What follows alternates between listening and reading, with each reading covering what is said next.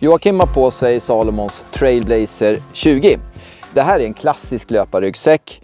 Eh, tittar vi på framsidan så har vi spännband här för att kunna reglera. Man kan flytta det i höjdläge. Du har ett eh, mera klassiskt midjeband och en ficka här för att kunna ha lite prylar. På andra sidan kan man ha lite gel och så, så ett elastiskt fack där. Om vi kikar på ryggen så har vi det, ett, ett stort fack här där man kan få med typ matlåda, ombyte och det man behöver när man springer till och från.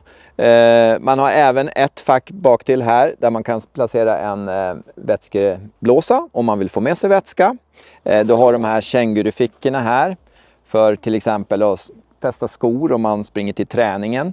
Eh, ja, riktigt bra med fack helt enkelt. Trailblazer är en prisvärd, klassisk ryggsäck som är perfekt när du springer till och från jobbet eller till och från träningen.